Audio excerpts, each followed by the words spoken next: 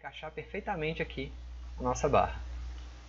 Vou isolar esses dois objetos aqui agora, para a gente poder ver melhor. Vejam aí que a ideia aqui é encaixar dentro da barra. Encaixamos aqui certinho. Vou deixar levemente encostado. Ok. Vamos lá na vista novamente completa, sem o isolamento. E aqui eu vou aproximar agora para poder fechar esse buraco que ficou aqui no canto. Então vamos aproximar aqui no eixo X. Aqui em relação à altura, aparentemente está bom, tá?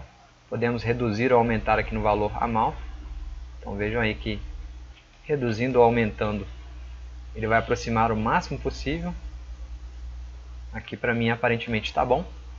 E agora é só fazer a parte do portão social. A parte do portão social ela é mais fácil. Então vocês vão notar aqui que eu vou primeiramente marcar o local que eu tenho que retirar a linha. Então vou marcar aqui através da seleção. Vou selecionar essa edge. Vamos isolar essa linha. Isolei essa linha. Vou vir aqui nessa edge aqui, vou dar um divide. Divide 2 novamente, tá? E aqui eu vou separar essa linha. Separei essa linha, posso selecionar esse segmento e dar aqui um detach. Então vamos procurar o botão detach, logo abaixo aqui do divide separamos essa linha, agora aplicamos novamente o Extrude. Veja que a linha está separada aqui para a gente. Vamos posicionar ela mais ao lado, para ficar mais fácil de entender aqui.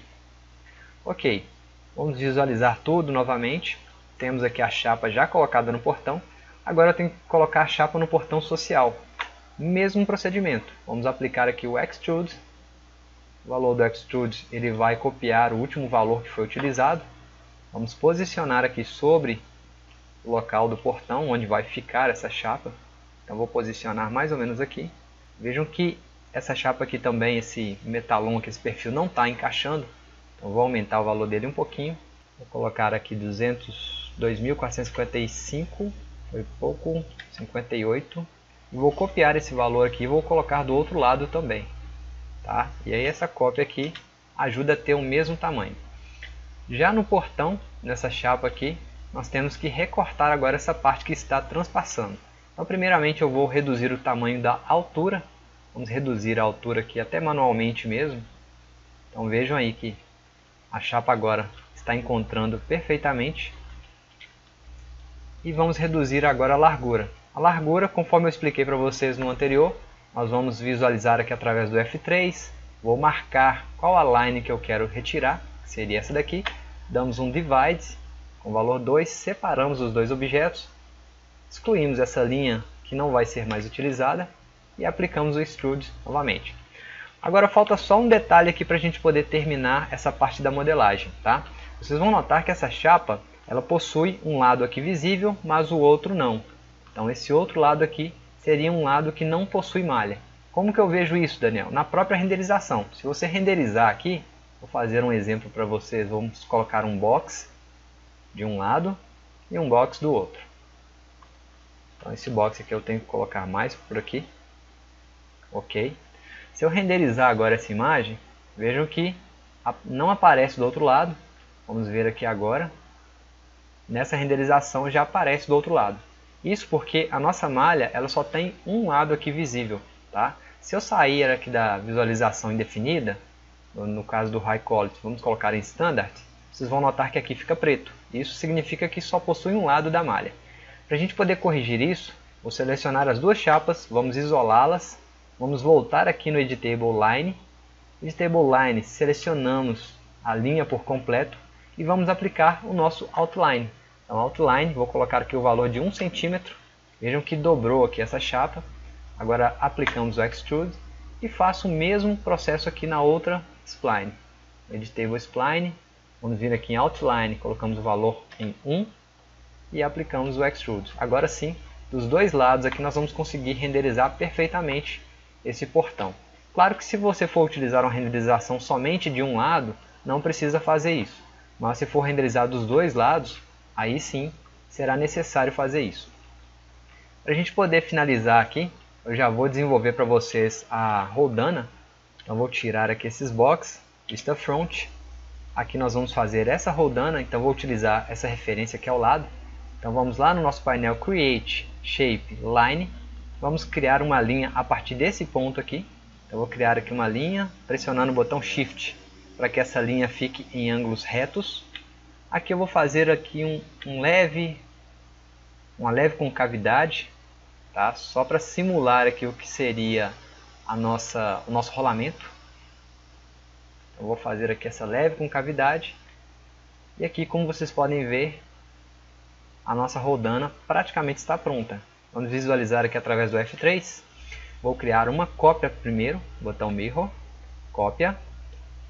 Vamos arrastar essa cópia para o lado aqui vamos juntar esses dois objetos agora através do iTest. Juntamos esses dois objetos, agora vamos juntar aqui os pontinhos de vértex, pois eles estão separados. Então selecionamos os dois, damos aqui um Veld, ok. Próximo passo agora é aplicar a nossa ferramenta Littler. Então vamos aplicar a ferramenta Littler, só que antes eu vou posicionar aqui esse ponto pivô, esse ponto central, mais aqui nessas, nesse ponto extremo aqui da parte mais baixa. Então vamos colocar aqui através do hierarquia, Effect Pivot Only, e vamos posicionar aqui o nosso ponto pivô nessa linha aqui, tá? Eu usei a ferramenta Snap para poder travar aqui perfeitamente. Agora sim. Vamos lá no nosso painel Modify, então vamos aqui em Modify, Modify List, procuramos a opção aqui o modificador Liter. Modificador Liter, vamos escolher agora a direção, X no caso, Y ou Z. Neste caso o X me atendeu, vai criar aqui o formato da rodana. Agora habilitamos a opção Weld Core para fechar o buraco e Flip Normals, para poder dar um flip na malha. Agora é só aumentar aqui a resolução, vou colocar 64 e temos já a rodana. Um detalhe importante aqui que ainda dá para mexer é aumentar aqui o tamanho dessa parte de fora, que seria aquele encaixe, como se fosse um parafuso ou um pino que vai entrar lá no portão. Então aqui no nosso Editable Line, vou selecionar aqui essas duas edges, ou segmentos, vamos aumentar aqui. Agora vocês vão ver que conforme aumentamos, esse valor aqui também vai aumentar, tá? Voltamos aqui em Littler, nosso objeto está pronto. Vamos tirar ele aqui. Vejam que tem uma pequena linha aparecendo aqui. Tá? Essa linha aqui parece que é alguma coisinha que está acontecendo. Vou trabalhar aqui no meu Axis. Essa linha aqui provavelmente é por causa do liter. Enfim, vamos converter agora como editable poly. E essa linha sumiu, certinho. Então aqui a nossa rodana está pronta. Vamos girar essa rodana a 90 graus. Ok. Vista front, botão F. Vamos lá no portão agora vamos colocar essa rodana no portão. Então vou colocar de volta no local. Vejam aí que eu posicionei de volta. E agora vamos posicionar a rodana lá no mesmo local também. Então vamos posicionar essa rodana aqui. Vai ficar mais ou menos nesse ponto. Aqui. E a outra rodana, copiamos ela, colocamos aqui na parte de trás. Tá? Agora o alinhamento dela, nós vamos fazer na vista left, botão L. Então, botão L, alinhamos ela com o portão, para poder ficar certinho aqui agora. Vejam que aquele pino central do rolamento deu certinho aqui, tá? Que seria a parte de solda. Aqui temos o portão já criado. Por fim, vamos fazer o batente. Então, na vista top, eu vou fazer aqui uma espécie de letra U. Eu vou fazer aqui uma, através do retângulo, fazer aqui uma letra U, tá? Criei aqui a minha primeira parte do retângulo, converti como editable spline. Vou deletar esse segmento aqui de dentro. Selecionamos os pontinhos de vertex e aplicamos um fillet. Aplicamos agora o outline. Então até aí vocês já vão perceber que tudo que nós fizemos foi só repetido, certo? Vou reduzir aqui um pouquinho o tamanho para ficar bem justo. E aplicamos agora um extrude. Então um extrude Vamos ver aqui na vista lateral. Aqui será o batente, onde o portão fecha. Para vocês que têm portão de garagem nas suas casas, vocês vão notar que todo portão ele tem essa parte que se chama batente, onde ele vai, de certa forma, bater aqui para poder fechar. Tá? Vou reduzir o tamanho dele também. Para poder finalizar agora, vamos fazer a guia desse portão. Então, a guia é bem simples. Na vista front, mais uma vez, botão L, aliás, vista left, Vou criar primeiramente aqui a parte que vai entrar na guia. Eu vou fazer aqui uma espécie de um T. Vamos juntar aqui um retângulo na base, um retângulo para o alto, como se fosse aqui um T. Vamos juntar aqui esses dois objetos, Editable Spline e Tet. Vamos usar aqui um Itet separado. E agora a ferramenta Trim. A ferramenta Trim também nós vimos bem detalhadamente sobre ela. Podemos já juntar agora esses dois objetos a ferramenta Weld. E aqui vocês vão notar também que o Weld está muito forte. Então reduzimos o valor aqui para 1 e aplicamos. Agora sim, vou distanciar esses pontinhos aqui um pouquinho. Estão aparentemente muito próximos. Então, vamos marcar aqui como lines. Agora sim. E a esse objeto vou aplicar aqui um extrude. Então vamos lá em extrude novamente. Vocês vão notar que tem muita repetição dessa ferramenta, tá? mas essa repetição ela é necessária. Então aqui temos a nossa primeira guia. Tá? Vamos colocar aqui umas três guias aqui nesse portão. Então temos três guias aqui, uma no início, uma no meio e uma no final. E agora vamos fazer aqui a parte onde as guias vão passar. Então botão L novamente, vou criar aqui um novo retângulo, mais ou menos aqui no tamanho da, da barra do portão, tá? imitando aqui o tamanho da barra. Só que nessa guia aqui, vamos converter como Editable Spline, vamos fazer aqui um recorte através do botão Divide com valor 2, vou deletar essa, esse segmento, selecionamos aqui os pontinhos de vértex e aplicamos um fillet, filetamos aqui. Agora selecionamos todo o objeto e aplicamos o outline. O outline vai criar essa, esse efeito de cavidade interna ou externa no caso.